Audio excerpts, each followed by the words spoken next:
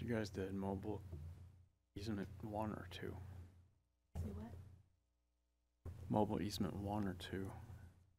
We did named, um, easement. Oh. Okay, Um, that's all right, we can, we can talk about one.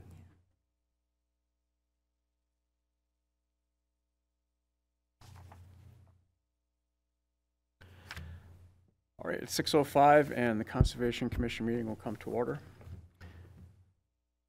We do have quorum, yep. Uh, the first order of business will be the acceptance of the minutes from the September meeting.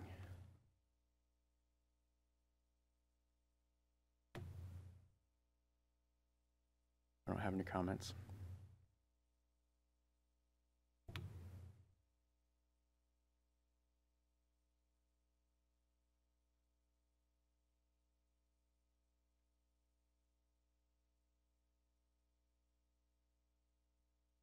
Else?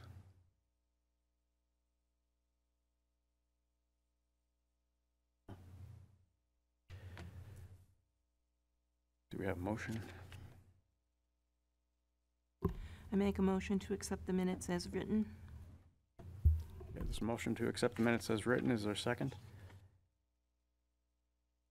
All in favor? Aye. The minutes are approved. Thank you. The next order of business is public comment. We don't have anyone here from the, from the public. We have no conditional use permits, which moves us to item four, new business. Any new business to come before the commission? Do you have anything? Do you want to do the invoice under treasurer's report? Yeah, we might as well do it under new business. So we have um, an invoice for the New Hampshire Association of Conservation Commissions membership uh, for five hundred seventy-five dollars. Say when it's due. January thirty-first, two thousand twenty-five. We've been renewing this for the past at least eight years. Um, I'll make a motion to appropriate five hundred seventy-five dollars more funds for renewal. Was a motion to um, appropriate five hundred seventy-five dollars for renewal, I'll second it. and there's a second. Any more discussion? All those in favor? Aye. Approved. Thank you. Old business easement monitoring. Dale and Jeremy have uh, completed monitoring of one of the mobile easements, um, Four ninety-five High Street. Four ninety-five high, okay. And of note, I guess, out, out of, uh, um, expected, uh, conditions, you, you found, what, some graffiti on signage? Uh, signage wasn't graffiti. We found a couple of small instances of it on stuff on the trail. One tree had been sprayed, and interestingly enough, one side of a rock that faced the pond had been sprayed in like a neon pink, almost like it was supposed to be a marker. Um, very minimal amount of trash, uh, evidence of one old campfire on the site. Um, we had expected a lot of fishing debris um, because the site is actually looks like a decent fishing spot, a lot of tangles and such in the water. The only thing we found was one piece of line that looked like it might have blown in. Um, the only other evidence of human contact was a bunch of stacked rock cairns at the end of the peninsula. So it's in pretty good shape for an area that could be that heavily traveled. Uh, signage was up at the border um, near the businesses off of High Street. Um, seemed like it was relatively common signage for the Willand Pond area, uh, no motorized vehicles, that sort of thing. Didn't specifically call out that it was conservation land, but didn't also look like it was heavily traveled. Any erosion? Uh, nothing beyond what would be typical for Willand Pond. Nothing Okay. looked severe. All right, good. Thank you. I'll get that to you in a bit. I just want to take some more notes on it. Um, Any correspondence regarding old business? here? I have an update on, or response to la, unless you want this under invasive. Uh, no, now it's good. Okay. Um, so last month you talked about the invasive um, plants that are um, taking over at the Forest Glade Cemetery and some management taking care of some of those and helping out with Public Works for that. I did reach out to the Public Works Director regarding that, um, and he indicated that Public Works, the Highway Division, is not assigned to complete vegetative maintenance at the Forest Glade Cemetery. It's a contracted with a private landscape company for mowing. They do do some specialty services around trimmings, and they did recently um, cut off all the bittersweet plants around the receiving tombs, which I have some pictures that Mike sent me of that. And then um, regarding volunteering for invasive management, he said that he's open to having conservation having conservation commission members work on assigned areas to address low-lying shrubs, cuttings from lower levels, but not those that are intertwined in tall trees. But he would like to have um, you would need to meet with the director prior to starting any work scheduling so he knows when like a schedule of when you'd be out there um, and plan for the bittersweet trimmings and things like that. You'd also need to fill out a volunteer waiver of liability form which public works has. They're available on our website as well. Um, they use the same forms for the community garden but i think only the actual like volunteer form would be required rather than agreeing to the community garden rules. Um, but so if anybody wants to be put in touch with Mike that doesn't have their contact, let me know and we can help facilitate that too. And Jeremy, I can give you a copy of my memo. Thank you. That'd be good. Thank you. And uh, we haven't um, made contact with the trustees yet. Mike apparently is going to do that. Can I see those pictures? Thank you.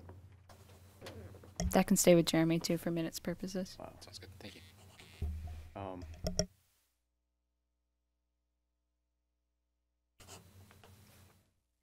It looks like, it- looks like the bittersweet is removed. We'll have to talk about that, rather than just cut and left. But that's quite a bit of work.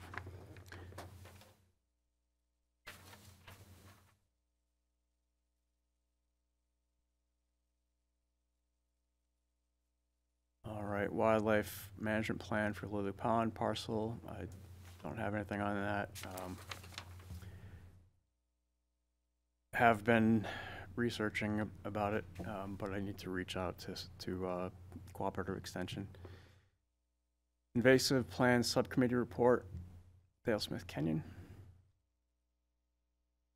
No update. If I can contact Mike. Um, I can contact Mike about the, um, removal of the bittersweet and like what he did with it, um, to make sure that it's consistent with state law. Okay.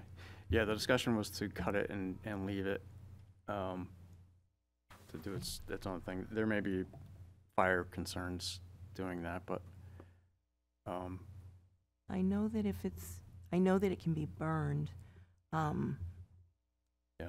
And if it, I think if it was removed in such a way that it was going directly to be burned, that might be acceptable, but I'm not hundred percent sure of that, so I'll touch base with him. yeah, if it were to be burned on site, I think that would be one thing, but I'd have to look at the state regs to see what they say about transporting it for that. Yeah. All right. Um, Exploration of formal conservation of Malley Farm city parcel. Uh, Kevin is not here tonight, and I don't have any update on that. City Tree GPS inventory project, Doug Breyer. Don't have anything Okay. And any other old business that may come before the commission? Um, to report, uh, Scott mentioned this earlier, but um, the natural resource chapter for the master plan update continues. They are Strafford Regional Planning has been working on drafting the chapter. They're going to present the draft chapter to the planning board at the um, October 16th, next week, next Wednesday's meeting. So they'll have a presentation for that in hopes that the adoption of the chapter would be scheduled for the November meeting. Um, so if anybody's interested in hearing more about that, that'll be on Wednesday. Will the draft be in their packets ahead of time? It will, I think we'd at least get it next week. We can see about distributing it to the Conservation Commission as well, if you'd like. I Yeah, can ask for that. Yeah, if I could be prepared before that meeting.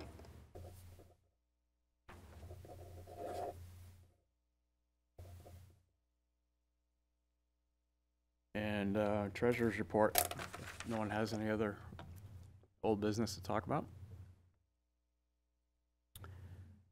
So, at the last minute, I remember to get the uh, statement, and as of June thirtieth, two thousand twenty-four, the balance for, I'm sorry, as of September thirtieth, two thousand twenty-four, the balance forward on June thirtieth was two two hundred sixty-four thousand, five hundred ninety-eight dollars and thirty-six cents. Interest received was three thousand, five hundred sixty-eight dollars and seventy-six cents. Excuse me. One hundred forty dollars was dispersed for NHACC handbooks, leaving an ending balance of two hundred sixty-eight thousand uh, twenty-seven dollars and twelve cents. And um, I can forward that to you, Jeremy, if you'd like. That sounds good, thank you. That's all I've got.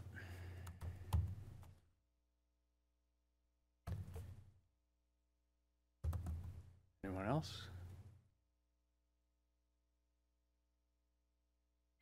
Okay. So, is, not the Comcast? Your email, I sent him a Gmail. copy of it too. Oh, okay. I can get it to you after if you You don't. send it? Okay, thanks. Thank you.